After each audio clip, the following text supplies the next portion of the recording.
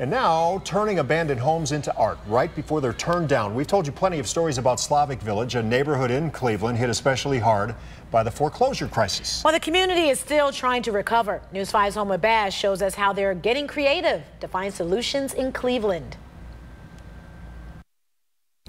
Every brushstroke, every screw is a final farewell to this vacant home. You don't really appreciate something until it's gone. This is the fifth year for the Rooms to Let project in Slavic Village, turning three abandoned homes into art exhibits just weeks before they're torn down. I'll try to fix anything I can, and just some of these houses aren't fixable. There's just aren't the resources. They've been vacant for too long. Um, they've been vandalized to the point of it's not they're not repairable. But it can be bittersweet, turning eyesores into artwork. I feel like I lose a little piece of me each time I do this project. Slavic Village was one of the hardest hit neighborhoods during the housing crisis. Right now, there are 900 vacant homes within five square miles. That's down from 1,400 back in 2008. Slavic Village Development Corps does what they can to save what they can, but some homes are just too far gone. That's where this idea came in. The opportunity to kind of honor these houses that are coming down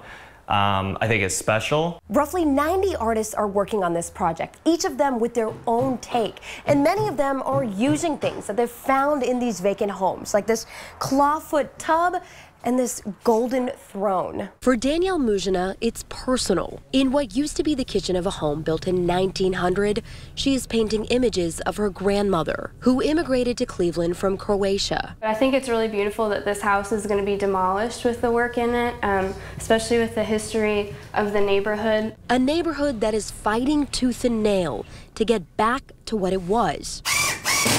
One unique project at a time.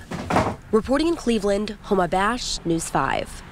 And the artists will finish up the exhibits this week, and the homes will be on public display next weekend. Nearly 4,000 people walked through in two days last year, so it's something to see. Mm.